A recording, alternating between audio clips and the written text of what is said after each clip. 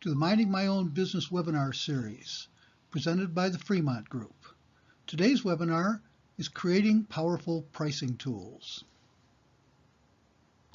My name is Dirk Dieters. I'm the Executive Director of the Fremont Group. Myself, like our, all of our other success partners, have been working with small business owners for the past 25 years. There's very little you can throw at us that we haven't already seen.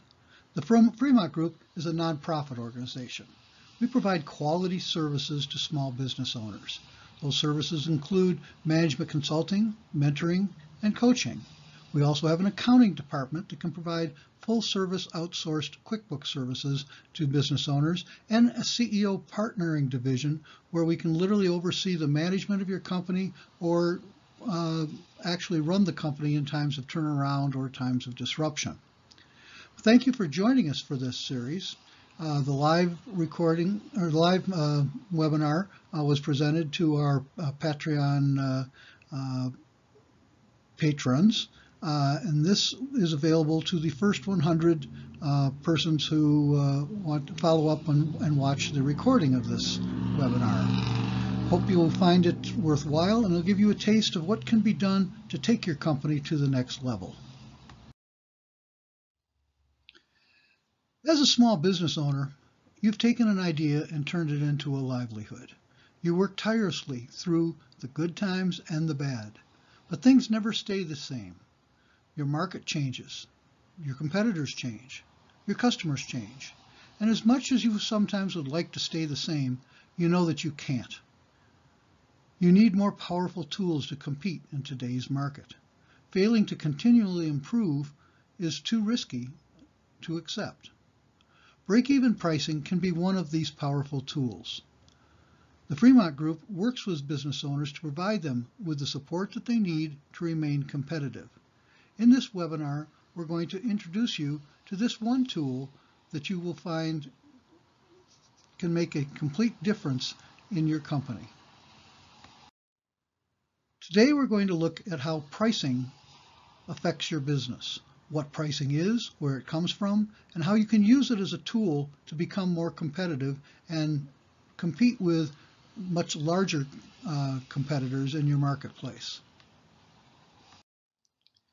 The myth about pricing is that you can only decrease or increase your prices to adapt to the market. First of all, if you would like to spend the time with one of our success partners, we can actually show you uh, through our spreadsheets uh, the myth of pricing. Uh, this has also been addressed in some of our earlier webinars. But first of all, let's just put this on the table.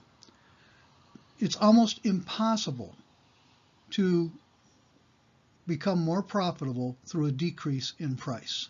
It's almost impossible to sell more enough more uh, from the lower price to make up for the loss in your price.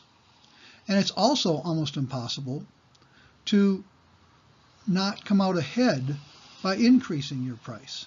In other words, you, unless you have an extremely inelastic marketplace, and we discussed that earlier, um, a price increase uh, basically falls to the bottom line and you it's almost impossible to lose enough sales to offset the advantage of a price increase. Decreasing your price takes that money directly off your bottom line. Increasing your price adds that money directly to your bottom line. And the adjustment in sales very rarely can compensate for that. So if we're not going to talk about increasing or decreasing your price. What are we going to talk about? We're going to talk about price as how it affects your business. What goes into the price of a good or service, whatever it is that you are selling? Your price equals the cost of producing the good or service, the cost of goods sold, plus whatever contribution to overhead and profit you want to make. It's as simple as that. Your price equals the cost of producing the product plus your desired contribution to overhead and profit. So what is break-even pricing? Well, let's start with what it's not. It's not pricing your goods and services to break even. That would be absurd. That's not why you're in business. Uh, and, uh, and what it is, though, is utilizing al overhead allocation strategies so that you can become more competitive. That's what we're going to explain and look at over the next 10 to 15 minutes. First, we have to define break even. Your break even is the amount of money that you have to bring in to pay for your overhead and your desired profit. Many people make numbers of errors in computing their break even. They want to compute it so that it simply will cover the cost of the good, for example. If you only sell products at cost of goods sold, uh, you won't be in business very long. Uh, that does not cover the required overhead, and it doesn't cover your reason for being in business from your first responsibility, which is making a desired profit. So what does go into break even? Obviously, the cost of goods sold is number one, as we said, but then your desired overhead and profit. What is the desired overhead? The desired overhead is a second place where people often make mistakes. They don't put themselves in it. Your own salary has to be included in overhead. And this is where we discuss the differences between managerial accounting and tax accounting. Your uh, tax attorney or, or CPA may very well be telling you not to take a salary or take a big salary or take a small salary, whatever, for tax purposes. That's tax accounting. Managerial accounting is separate from that. And it has both you have to have both. Uh, in managerial accounting, the salary that you put in uh, for yourself is the amount that you would have to pay someone else to perform the tasks that you're performing for the business. Not the leadership responsibilities, but rather uh, the daily tasks and, and of management that you perform. That amount has to be included in your overhead amount. We said that price equals cost of goods sold plus allocated overhead and profit.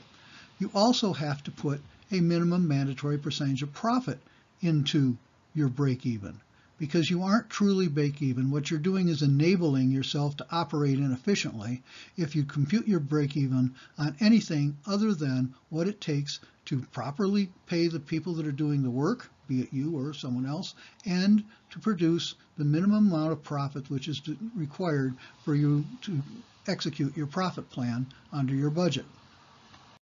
So once you've determined what your true break-even amount is, we need to look at how money flows through your company. What happens to the money that comes in? Every time a dollar comes into your business, it goes basically to one of those two spots.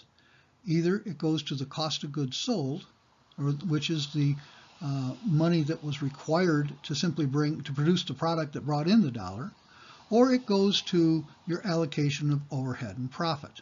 That's that's how it flows. So if it flows from into your business and into one of those two spots, you have to look, let's examine each one of those two spots. First, let's look at your cost of goods sold.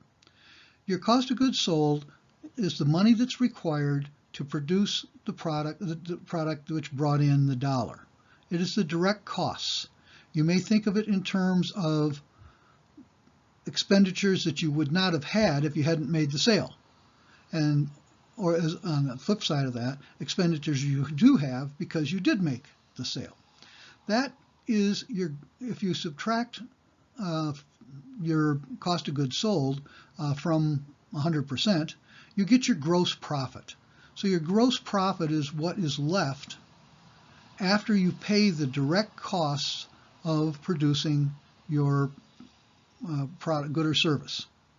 So in this example, let's say your gross profit equals 55%. That means 55 cents out of every dollar that comes into your business isn't really yours to work with.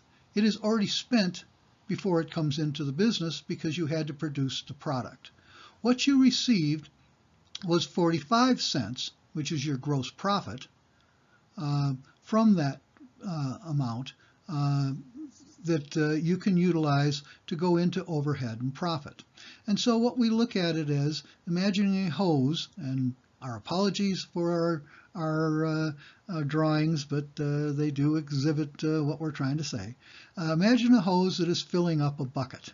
The bucket is your overhead. That was the number that you determined. It was a dollar amount that you determined is what it, it, uh, it takes that you want to allocate for overhead and profit.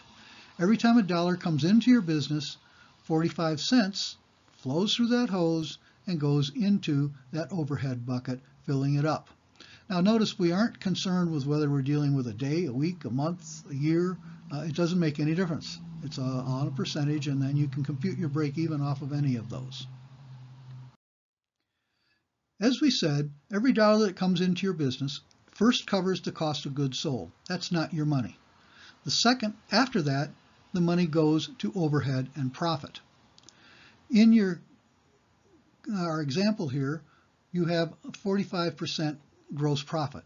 That means you have 45 cents out of every dollar that comes in to fall into the overhead bucket. The overhead bucket, remember, includes your salary. That fills up from those 45 cents. And once that bucket is full, the next time a dollar comes in, 45 cents falls into the second bucket, which is the profit. You see, every dollar that comes in goes to one of those three places, but it does not go to your profit until the overhead bucket is full. And that is your break-even point. To compute your break-even, you would take your dollar amount of your overhead that you've determined, uh, be it uh, uh, a day, a week, a month, a year, it doesn't make any difference and you would then divide it by your gross profit. Why? That tells you how many 45 cents, how many sales dollars, are required to fill the overhead bucket before you go to profit. Okay, fine. So now we have computed your break even. We know where uh, the uh, money comes in. We know the dollar goes into your company, uh, in this case, 55 cents of it goes out uh, to the cost of goods sold. 45 cents of it is your gross profit. Every time a dollar comes in, 45 cents falls into the overhead bucket. When the overhead bucket is full, the next dollars that come in, 45 cents falls into your profit bucket. That's nice. But how do you use it and what is it worth having and why should we be paying attention to it? Well, you, to use your break even, you really have to do th three things. First of all, you have to monitor it. You have to have uh, accurate numbers that will tell you, okay, uh, what is our, either if you want to do it on a daily, weekly, monthly, quarterly, annually basis, whatever you want to do it on, uh, what is our break even, how is it, and how is it constantly changing? How do we monitor it at least on a weekly basis, if not on a daily basis. And when you understand um, what has gone into it, uh, then you can figure out how to reduce it. So what does go into it? Well, there's only two ways to change your break even. Either, number one, you can get a smaller overhead bucket because it'll fill up faster. Or number two, you can get a bigger hose because that'll also make it fill up faster. What is the hose? The hose is your gross profit percentage. If we could have changed the gross profit from 45% to 50%, that bucket would have filled much faster. Or if we had reduced our overhead, we could have uh, filled the bucket faster also. Either one of those affects your break even. In almost every instance, I, we very rarely uh, uh, meet a business owner whose overhead is excessive. That there's excess, you know, a couple of leased Mercedes and a golf club membership or whatever it might be, just excessive overhead. People don't do that because they understand that uh, a dollar, you know, a dollar is not spent on overhead is a dollar more they'll make. And in uh, in fact, uh, one of the common faults is starving your company and not having enough overhead to work effectively and profitably. And so the size of the bucket is rarely an issue. And you should examine whether or not expanding your, your bucket, be it additional marketing, additional personnel, or whatever it might be, actually uh, would help generate more sales.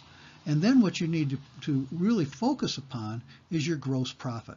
There's probably very few um, key profit indicators more important to any small business owner that, than their uh, gross profit percentage. And that needs to be monitored constantly. And so then you develop and implement strategies to control your uh, break even. And you can do your break even in a couple different ways, okay? After you get that, um, that amount, you can figure it as a percentage of your sales and then multiply it by 365 to see how many days it's taking you to get to break even.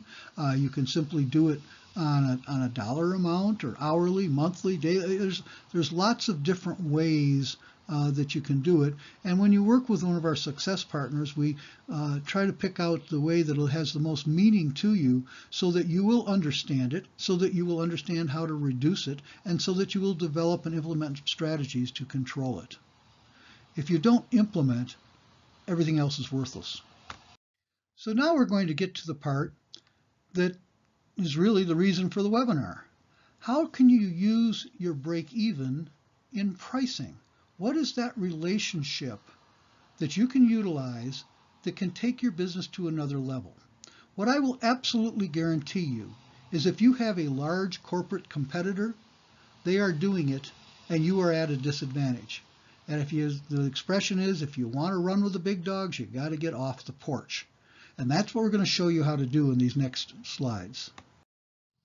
Break-even pricing is really the implementation of overhead allocation strategies.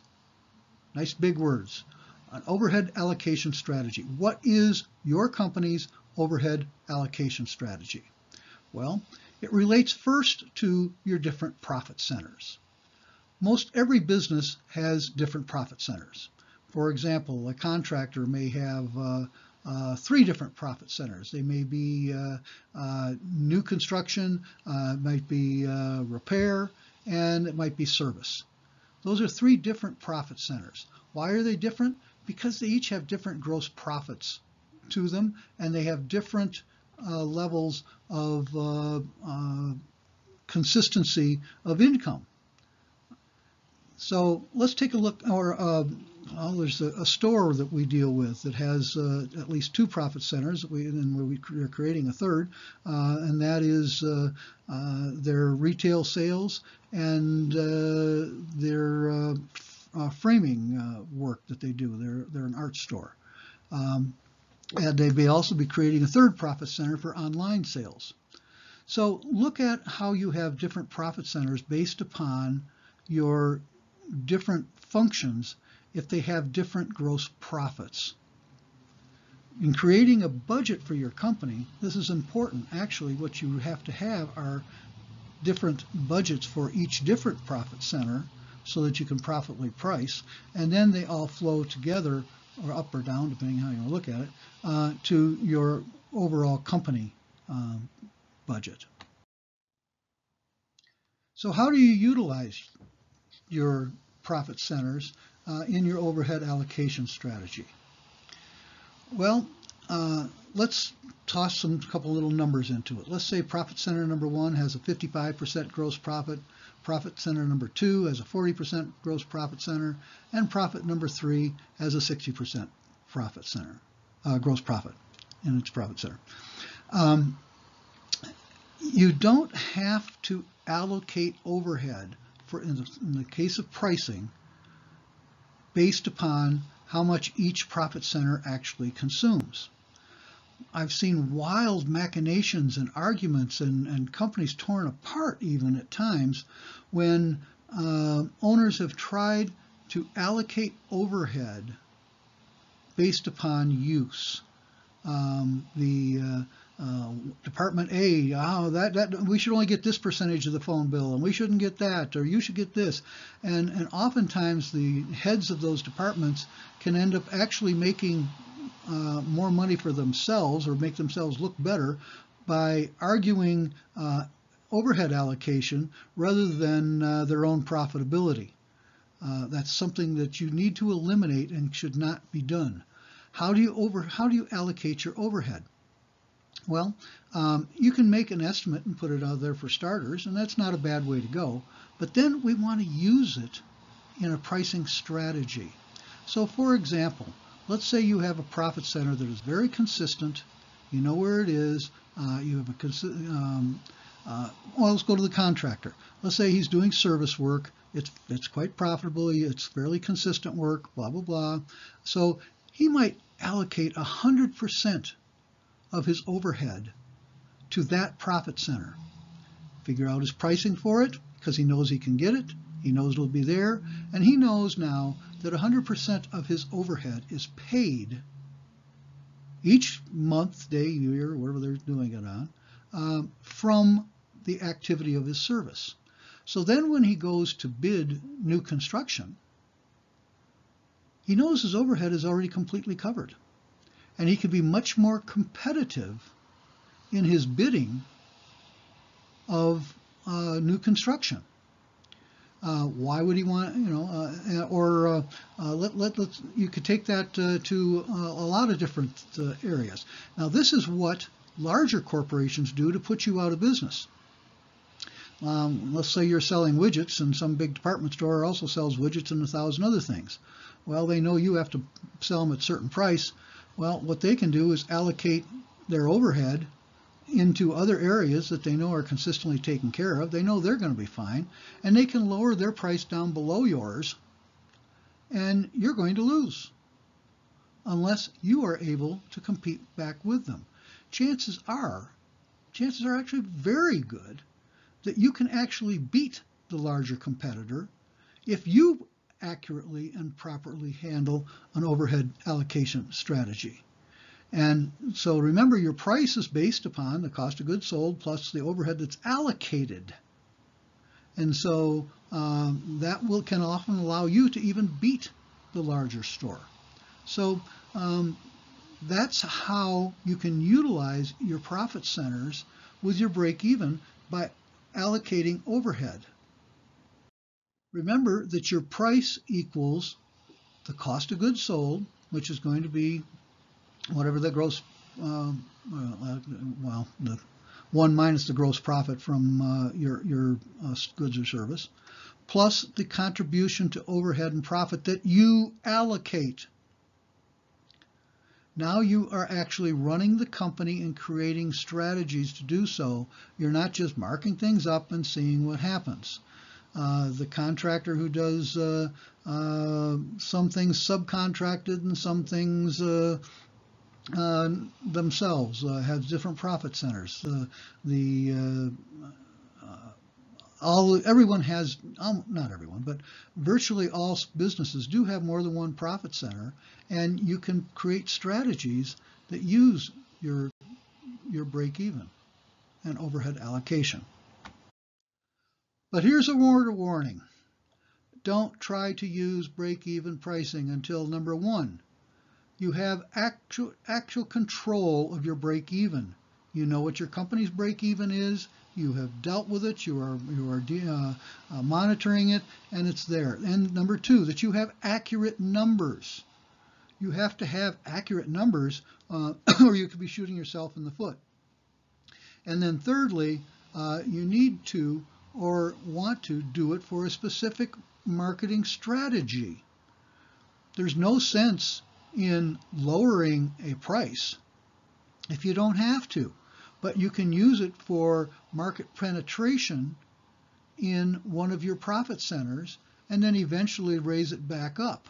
Or you can not do it, not use it, and simply uh, supercharge your, your projected profit.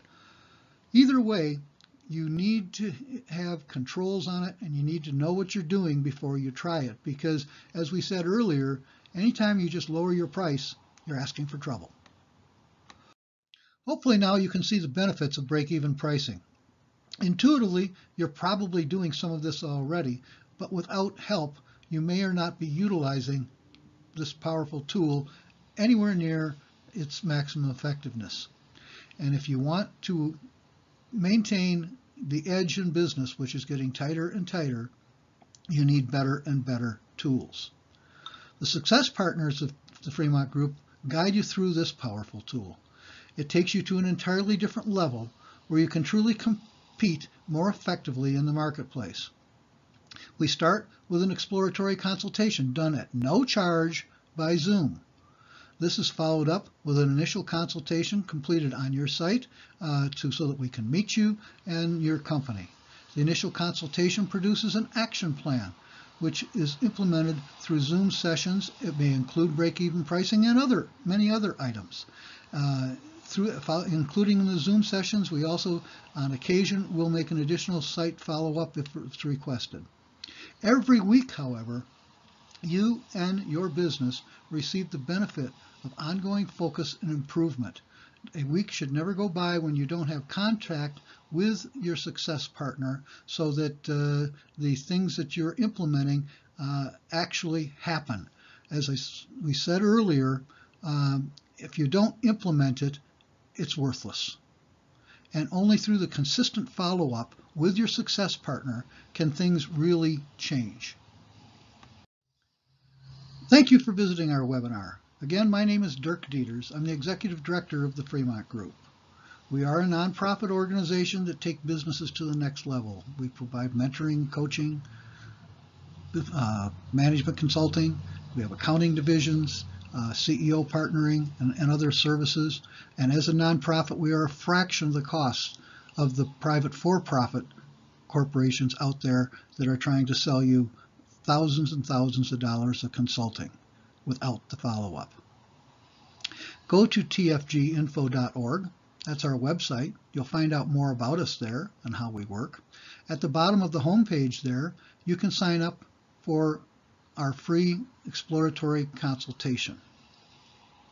The exploratory consultation is a 45-minute Zoom meeting where we use our proprietary materials to, to compare your management of your company and your strengths and weaknesses against national norms and also to determine which areas you could benefit the most from dealing with.